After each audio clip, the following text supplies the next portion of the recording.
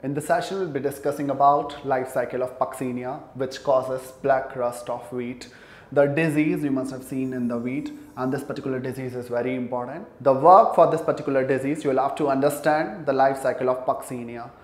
And that particular life cycle, which is uh, what you call black rust of wheat, was studied by an Indian scientist called Professor K.C. Mehta. Remember this particular name. So K.C. Mehta is the person who had worked upon the life cycle of Puccinia, and this is what I have showed you, the life cycle of Puccinia. Now what happens, because Puccinia is infecting over the wheat, and wheat, we try to, like in India, we grow the wheat, we put the seeds of the wheat in what you call month of November and the time we put the what you call we sow the wheat seeds and all and then what happens is because wheat will be taking the time so it may come out it may start growing in what you call the december or early january. It grows from what you call december to march. So at the end of march or the first week of april we harvest the wheat. So for puccinia when can when it is a parasite on wheat the only favorable condition it can get from the wheat is from December to late March or early April. What will happen to Puccinia after that? Because once you will be harvesting the wheat, the Puccinia will have to look forward for something. And the Puccinia looks forward for an alternative host. So there are two hosts for Puccinia basically.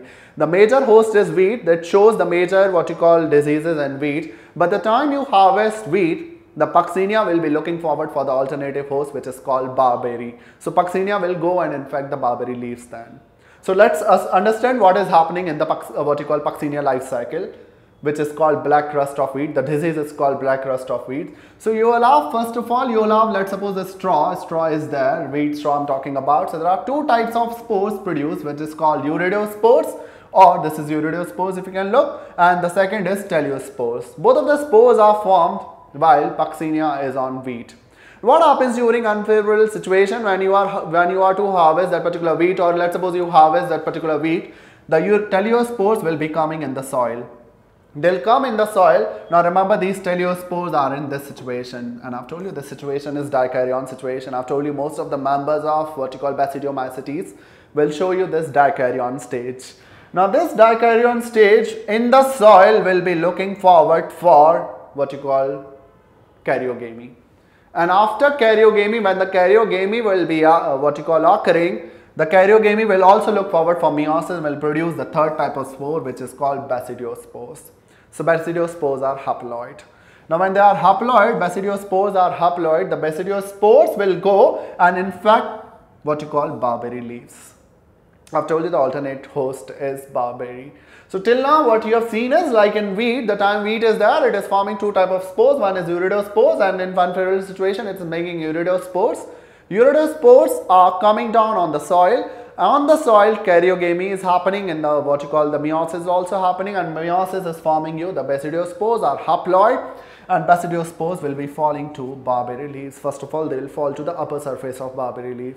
And onto barberry leaf they will form the next type of spores which are called pycnospores. You can look here, pycnospores are formed. And the pycnospores will be jumping to the lower surface of the barberry leaf and which will be forming you aeciospores. And aeciospores become again this dikaryon stage. And during this dikaryon stage, like let's suppose the wheat is coming, this is the time for wheat to come. This will hold on what you call barberry leaf till the time wheat is not grown and the wheat is growing, the spores will be going and will be getting converted to uredospores or teliospores later on when they will go on to the wheat.